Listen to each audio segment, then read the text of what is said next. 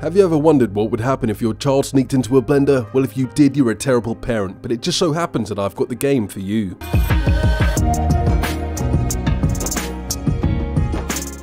Who's Your Daddy is an asymmetric online multiplayer game that features two sides similar to most other games in the genre.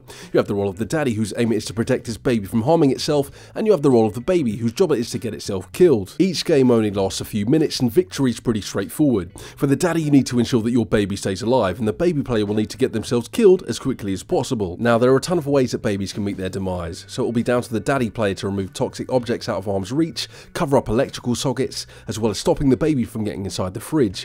But by no means are you defenceless as a baby. You'll have access to shovels to dig your way out of the playpen, punching your daddy to get him off you, and getting in your own vehicle to cause some mayhem. There are four game modes that you'll have access to 1v1, 4v4, custom lobbies where you can create your own rule set, and split screen where you can have up to four of your buddies playing locally. You can change which server you're connected to in the main menu. That also lets you know the number of players online. Now mine was defaulted to US East despite the fact that I live in Europe. When switching to the European servers there was barely anyone playing and that applies to all of the other servers too. So unless a player base significantly picks up, I advise just sticking with US East for faster queue times. Crossplay is on by default. You can turn it off, but I see no reason for doing so, considering there's not a mass of people online anyways. Now you can customise your babies and daddies, changing their hats as well as their skins. For example, you can change yourself into a turkey if you're feeling festive, or a skeleton if you fear that reaper. There's a handful of perks in the game which are unlocked by default and provide slight boosts in game. Both sides share the same controls. You can sprint, crawl, jump, dance, switch to first person, and interact with objects. Now there's only two maps, one of them is locked to 4v4 and the other is locked to 1v1. You also have a health meter, stamina bar as well as stomach gauge which rises when you eat toxic objects.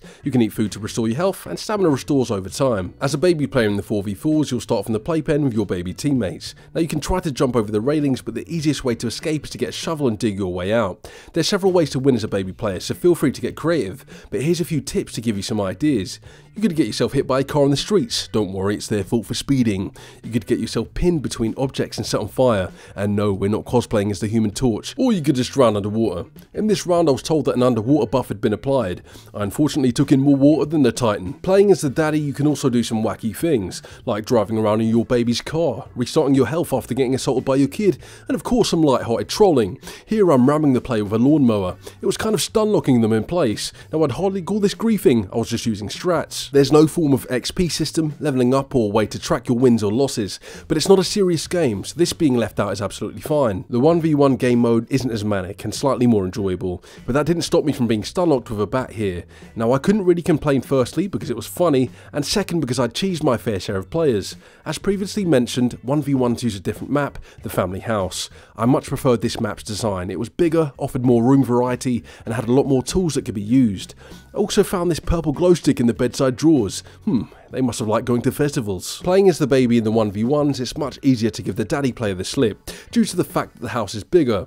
In this cycle of events, I drink some alcohol, ride off to the family cat and get hit by a car, all in less than a minute. You can get punished as a daddy though. Here I had no clue that this closet teleported the baby to another location. I waited outside the closet thinking the baby would eventually come out, but this little took off and got himself smoked in the garage, and to that I say GG. I did try some custom lobbies where there was one daddy and several baby players, and it was much more difficult. Even more so when the game glitches or crashes and you're left with a black screen, and this is the true undoing of the game. The game crashed so often I would have to close the game and restart it.